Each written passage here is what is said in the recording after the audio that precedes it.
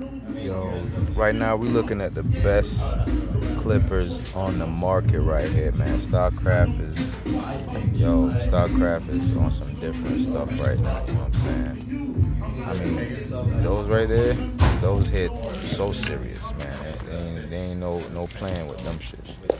You know what I'm saying? And they, they, they threw in a, a mythic.